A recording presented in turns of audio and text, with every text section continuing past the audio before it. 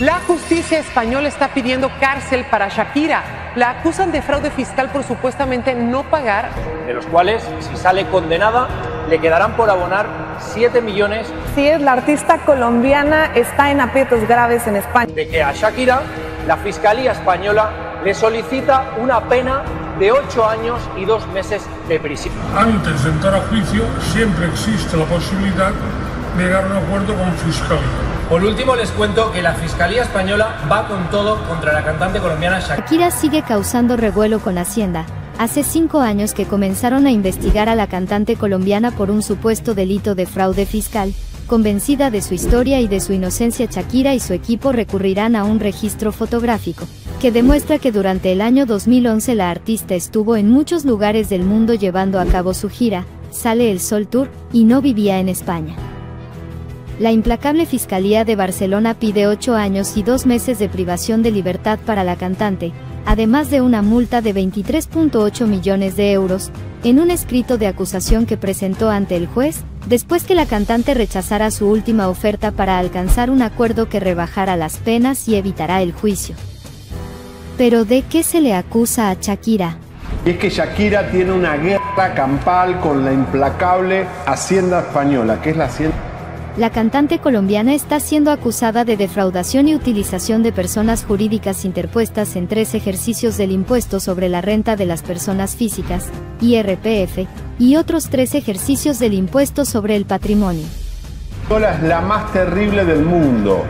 No te perdona un centavo. La acusación se basa en la presunta ocultación de ingresos por parte de Shakira mediante de un entramado con sede en paraísos fiscales, con el objetivo de evitar la tributación en España.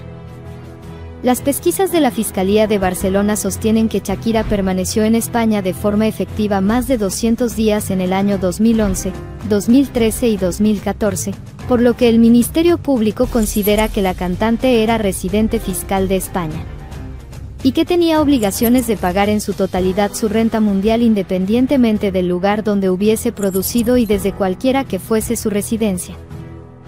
En el escrito el Ministerio Público defiende que la vivienda adquirida por Shakira y Piqué en Esplugas, Cataluña, constituye el domicilio familiar del artista y que las estancias fuera de España durante ese tiempo fueron por motivos profesionales y de duración muy corta. Shakira afronta dos causas abiertas basadas en un informe presentado por la agencia tributaria a la Fiscalía de Delitos Económicos de Barcelona en enero de 2018. Ambas causas tienen como objetivo determinar si Shakira pasó más de 183 días en España, lo que la convertiría en residente fiscal y la obligaría a pagar impuestos en el país. La causa correspondiente al año 2011 es de naturaleza administrativa, mientras que las que abarcan los años 2012, 2013 y 2014 son de carácter penal. Esto significa que se están llevando a cabo procesos legales separados para cada uno de esos periodos. La razón por la cual Shakira debe ir a juicio es para que se determine su culpabilidad o inocencia en relación con las acusaciones de fraude fiscal. El juicio permitirá que las pruebas y los argumentos sean presentados y evaluados, y será el tribunal quien tome una decisión final basada en la evidencia presentada. Es importante destacar que la cantante colombiana presentó su escrito de defensa en el juzgado, en el cual afirmó haber pagado 104 millones de euros en impuestos en todo el mundo. Además, rechazó un acuerdo propuesto por la Fiscalía, ya que considera que es una cuestión de principios. Esto indica que Shakira está decidida a defender su inocencia y está dispuesta a llevar el caso a juicio para probarlo.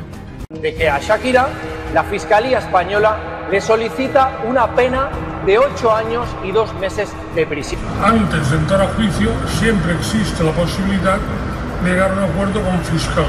Por último, les cuento que la Fiscalía Española va con todo contra la cantante colombiana Shakira. Se filtró una declaración de Shakira en la que se defendía de las acusaciones de fraude fiscal en España. En dicha declaración, se dice que Shakira reveló detalles de su vida privada y compartió información que desconocíamos por completo, Además mencionó la locura más grande que hizo por amor y habló sobre su relación con Antonio de la Rúa. Fue el 6 de junio de 2019, que Shakira se sentó en el juzgado, expresó su deseo de hablar y lo hizo durante un periodo continuo de 80 minutos. Durante su declaración, mostró emociones como amor, nostalgia, entusiasmo, pero también rabia e indignación, con el objetivo de convencer a quienes la escuchaban en silencio, especialmente a la jueza. Además afirmó que desde 2011, su enfoque principal estaba en España y pasaba más de la mitad del año en el país, lo cual implicaba que debía ser considerada como residente fiscal y pagar impuestos. Esta es la base de la acusación presentada por la Fiscalía. Sin embargo, Shakira negó enfáticamente esta acusación, argumentando que durante ese periodo solo se dedicó a trabajar y viajar, sin tener una conexión significativa con España más allá de su relación incipiente con Piqué. Describió su estilo de vida como nómada, careciendo de raíces y estabilidad. He viajado a un ritmo tan intenso que incluso he estado en tres países en un mismo día, es uno de los precios más altos que he tenido que pagar por mi carrera. Después del éxito de su canción, Waka Waka, en el Mundial de Sudáfrica en 2010, donde conoció a Piqué, Shakira continuó triunfando a nivel mundial.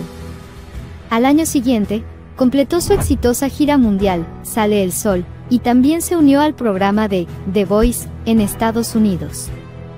Durante esos años, su música estaba en todas partes y vivía prácticamente en un avión, viajando constantemente. A pesar de que su relación amorosa con Piqué inició en 2011, la colombiana dijo que para ese tiempo no vivía en Europa porque apenas se estaban conociendo, lo que en teoría no la hace tener obligaciones tributarias con Hacienda. Cuando empecé a salir con él, casi no nos veíamos. Tiene 23 años, 10 años menor que yo, dijo la colombiana. Shakira revela que mantuvo una relación amistosa con su exnovio, Antonio de la Rúa, pero señala que tuvo que dejar de frecuentar las Bahamas debido a los celos de Gerard Piqué, este detalle personal es mencionado para contextualizar su situación y los lugares en los que solía pasar tiempo. Lo cual era comprensible debido a la falta de una relación consolidada entre Shakira y Piqué en ese momento, ambos tenían inseguridades y las heridas con su relación anterior aún estaban abiertas. Además mencionó los países con los que había tenido vínculos estrechos, dando a entender que España nunca fue una de sus prioridades. Citó a Estados Unidos como su trampolín al resto del mundo y su centro de negocios. También, mencionó a Colombia, su país natal, donde vive parte de su familia, y las Bahamas, que desempeñaron un papel importante en su historia personal. No obstante, Shakira enfatizó que su presencia en España no significaba que estuviera instalada allí ni que cumpliera los requisitos legales para ser considerada residente fiscal. La agencia tributaria intentó desacreditar esta afirmación con un calendario detallado de esos años, incluido en el caso judicial. En esta declaración, la cantante expone detalles de su vida privada y revela que su relación con Gerard Piqué ha pasado por altibajos. Aunque actualmente se encuentra separada de Piqué y vive con sus hijos en Miami, sigue teniendo un proceso penal que comenzará en noviembre y una petición de más de ocho años de privación de libertad. La cantante recuerda con cariño los primeros momentos de su relación con Piqué, cuando tenían poco tiempo para verse pero muchas ganas de hacerlo. Ella estaba encantada con él y recuerda un momento romántico en el que, mientras volaban en avión de Moreques a Croacia y pasaban por encima de Barcelona, le pidió al piloto que aterrizara brevemente solo para poder darle un beso a Gerard. Sin embargo, bromea diciendo que no sabe si la agencia tributaria consideraría ese breve aterrizaje como un día en España. Uno de los aspectos relevantes a destacar sobre su declaración, es que Shakira aseguró que solo se radicó en España hasta el año 2015 y desde ese momento se podrían tener en cuenta sus tributaciones. Las declaraciones que ofreció la cantante ante el tribunal relacionadas con su relación con Piqué fueron esenciales para construir la historia de su vida desde que llegó a España, y de esta manera construir una línea del tiempo para intentar resolver su situación con las autoridades de ese país. Sin embargo, en su declaración, insiste en que no vivió en España durante el periodo en cuestión y critica a Hacienda por considerarla residente fiscal en base a su maternidad. Alega que España no era el epicentro de su carrera y que el caso penal ha tenido repercusiones negativas en su reputación y en su labor filantrópica a través de su fundación, Pies Descalzos. Finalmente, El equipo de defensa de Shakira está trabajando para demostrar que la colombiana no evadió impuestos en España durante el tiempo que ellos señalan, y que desde que se mudó allí en 2015 hectáreas cumplido con sus obligaciones fiscales. Así, su abogado asegura que la barranquillera pasó menos de 60 días en el territorio, que su relación con Piqué apenas iniciaba y no tenía ninguna otra obligación en el país. Recuerda, que este es el muro de la fama. Suscríbete y dale like a este video, y no te olvides de visitar nuestros otros videos, para mantenerte siempre informado de lo que ocurre en el mundo del espectáculo y nos vemos en la próxima ocasión.